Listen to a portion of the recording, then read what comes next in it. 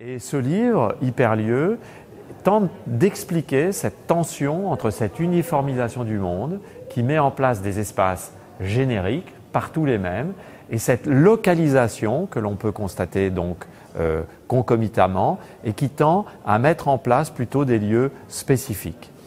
Et c'est cela qui a conduit mon analyse et j'essaie de le montrer à travers d'abord l'examen de lieux que l'on pourrait penser être des lieux parfaitement standards, parfaitement interchangeables. Les gares, les grandes places publiques, des grands aéroports, des grands shopping malls, des parcs d'attractions.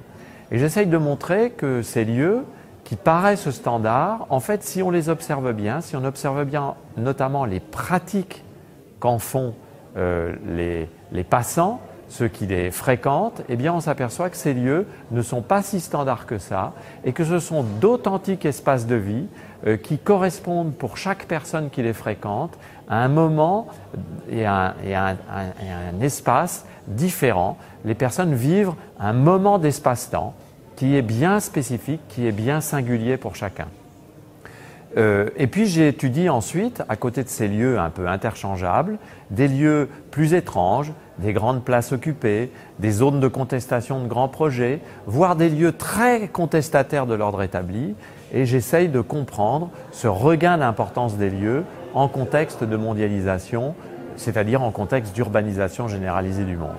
J'en viens à, formuler une hypothèse que, je, démontre dans ce livre, que ce que j'appelle les hyperlieux, pourquoi hyper? Bien parce que ce sont en quelque sorte des hyperboles du monde contemporain, eh bien, ces hyperlieux, ce sont ces lieux où l'individu rencontre la mondialisation contemporaine, où les individus font l'expérience de cette mondialisation et les individus la comprennent euh, et l'appréhendent, la, réalisent ce qu'est cette mondialisation est, pour le meilleur et pour le pire, puisque ce que je montre aussi, c'est que dans ces hyperlieux, toutes les contradictions de la mondialisation se retrouvent, contradictions sociales, contradictions politiques, contradictions environnementales.